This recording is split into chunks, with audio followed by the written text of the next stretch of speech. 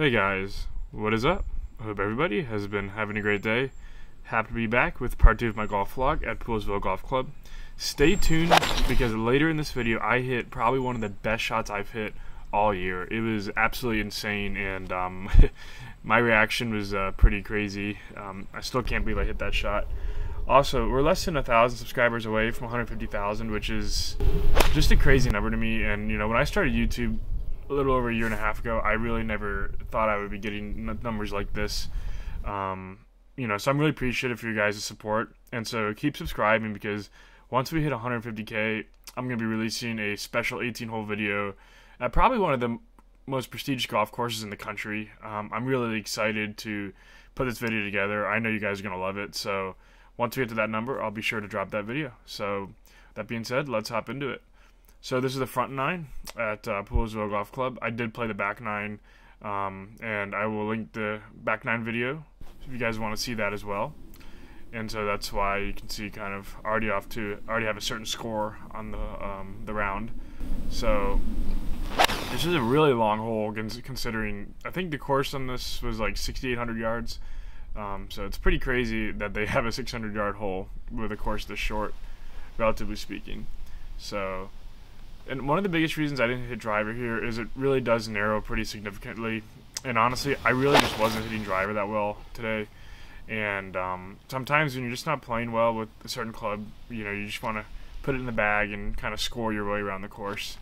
But uh, I know a lot of people have wanted me to hit driver more often, so that's kind of going forward. I'm going to make sure I hit driver more and um, at least uh, have driver and hit it as a comparison so you guys can see where it is in relation to my other clubs. And again, here, I'm just missing these numbers. That would have spun back pretty good. It just got hung up in that rough. That's probably what I'm struggling with most still is kind of getting that distance control down where I, you know, where I feel comfortable and, you know, it's just, it's a remnant and I guess a symptom from, you know, I've gained a pretty good amount of speed this year, probably two miles an hour, which for me is pretty significant. Um, I set my personal best club speed earlier this year, 155 points point. I think it was 0.6 miles an hour. Um, so, and my my on course club speed has gone to about 141 to 142 with the driver. So I'm trying to adjust to those new club speeds. This is a really good shot here. Really never left the flag. Um, and you can see, even though it's 210 yards, got a little bit of backspin and definitely a great shot from 210. You can see a pretty long, pretty long uh, hole right there for a par three. So about a 12, 15 footer for birdie. Really would like to make one here to get this round back on track. And you can see just kind of taking my time, looking at trying to eyeball the line. And that I this is the line I saw, and for whatever reason, it just didn't quite break as much as I wanted it to. And um, I hit the putt I wanted to hit. It had pretty good speed. So sometimes you're just not going to make those putts, uh, and that's just part of the game. So Still a good three though. Anytime you make a par and a par three, it's over 200 yards long. You're gonna run. You're gonna take it and run.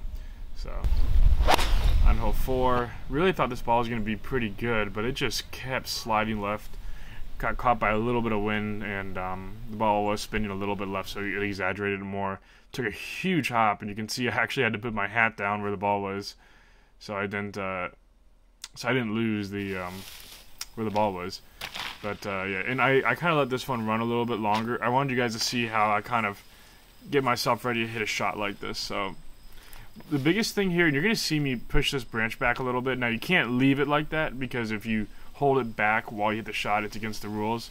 But um, that branch right under my, my head was restricting my ability to kind of see. You can see me peek around just so I have a bit of a visual on the ball and then my big thing here is just to make good contact, which is what I did. I really surprised myself with how well I hit this shot. And I ended up being just a bit short and right. And uh, this was the wrong club here. I should not have hit a 58 degree wedge. I should have hit a 52 and play a bit of a chunk and run because this rough is pretty sticky here at Poolesville. And uh, yeah, my club just kind of got stuck and uh, ball just popped out. Didn't really go very far. So I got my look for par here and a little bit of a misread, so a bit of a disappointing five. Um, I definitely did put myself in a pretty tough spot uh, off the tee. So on to hole five, three over for the round. Give me a three iron here for placement. Again, just trying to get myself around 100 to 120 yards out, get myself in good position. and uh, pull this one left. But the good thing is that uh, these trees do end at a certain point, so you'll see why it was a good thing that I hit it as far as I did. There's a bit of a gap in the trees from probably about 130 out to 70 yards out. And you can see since I'm 91 yards out, um, I was still far enough back where I could hit it over this tree. Had I hit a two iron, I would have definitely not had that option. Would have had to run it up. So this is more or less a pretty normal approach shot. I had to definitely elevate the ball a little more than I might normally elevate it, but still a pretty good shot here and um, you guys will see was able to hold the green pretty good. Got it all the way back to the pin. Have probably about 15, 15 18 footer here, and I have a pretty good beat on this line. Um, I really spent a long time sizing this putt up. I really wanted to make a three. Um, really good stroke here, and yeah, poured it in. And I really like it when I'm playing like this. You know, ramming the ramming the ball into the back of the cup just shows a lot of confidence and a lot of aggression. So that was really nice. Got me off to um, got me going again. So on hole six, really good tee shot here. A bit of a baby fade. Again, leaving it short of those bunkers. Don't mind having like 160, 170 left. And uh, just about what I have. So I got a 9 iron. There's a bit of wind in the face, so you can see I'm sawing this one off a little bit. And I'm really trying to improve this uh, this little shot I have here because I know it's going to be very important when I'm playing down in Florida and other windy places. Um, so I'm really trying to improve on that. And I was so bad, um, you know, but can't hit them all good. And notice what I do here, guys. Like this is how you get better. So I didn't really hit a good shot, and you can actually see. I'm really trying. I'm trying to just take some practice. I'm trying to feel what I felt, and then feel what I want to be feeling. So I'm kind of just trying to get like a a bit of a correlation there, so that I'm I can kind of use it as a learning experience. So flare this wide right, and uh, so got the 50 degree wedge here. And this is an awesome chip. Hit this to like, I think about two feet, three feet. And um, when I'm out on the course and there's not anyone behind me, I, on pretty much every single hole, I will hit, I'll try to hit about 15 to 20 chips around the green. Because honestly, that stuff adds up. You know, like if I play, if I film a lot and I'm, you know, and across and over the course round I hit two, three hundred chips. That's really good practice, you know, and it kind of kills two birds with one stone, you know, because it's tough. Because when you're filming, it's definitely not conducive to really improving because you're trying to shoot a production. Um, so I tried my best to do things around that. But here's the shot I talked about earlier: 210 yards left, but I have a big time jumping lie here, and so I take a really full swing and have a little bit of a helping wind, 210 yards, and um, I'm actually going to stop the recording here because I did a little bit of vlogging in person to capture this moment. Hey guys, I know I'm doing a um, voiceover, but I just wanted to cut in for a second. That was one of the most ridiculous shots I've ever hit. So I had a really, really juicy lie, about 210, I think was the yardage, something like that, and hit a pitching wedge. This almost flew in the hole. I'm walking up to it now. Look at this. Like this almost went into the hole.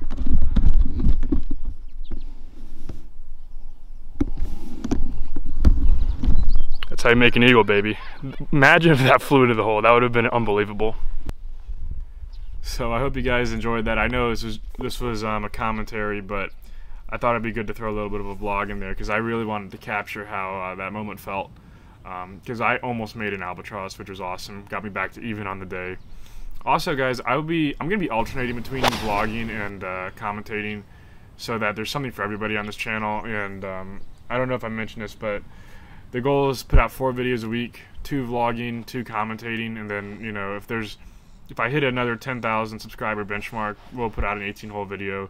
I feel like that's kind of how it's gonna go from now on. I, I hope you guys enjoy that format. But a little deep with this bunker shot. Didn't, wasn't quite familiar with the sand way I needed to be. So I gave myself about a 15 footer, try to save my par here.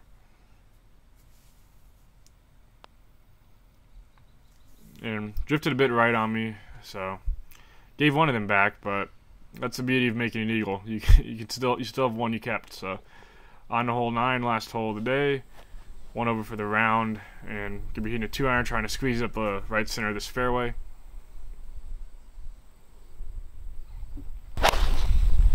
I don't know what it was. I just a lot of these bounces were really rough. I think I was just not shaping the ball the way I should have shaped it for the course because, like on hole six, I think got a brutal kick left, and this one just took a massive bound forward and just close enough to that tree to make it an issue. If that was three or four yards back, really no problem. So I had to take my 62 degree wedge here and really try to hoist it over this tree. I had about 90 yards left, and I mean this thing, I had to, look how high I have to send this one up just to get it over. And unfortunately, didn't have enough punch to it on uh, on the flight, so got caught in the wind. It was a little bit short right. So can have this up and down here, try to save par. And um, so I'm to try and hit a good shot here with the 58 degree. I hit a really good chip here, and this cozied on up to about two feet, so pretty much gave me myself a guaranteed par. So I'm gonna tap that one in. I hope you guys enjoy this video.